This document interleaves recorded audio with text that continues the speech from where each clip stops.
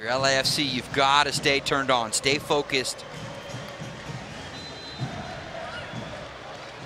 Guzman gets good lift on it, and that is onside, and LAFC do concede late in the first half.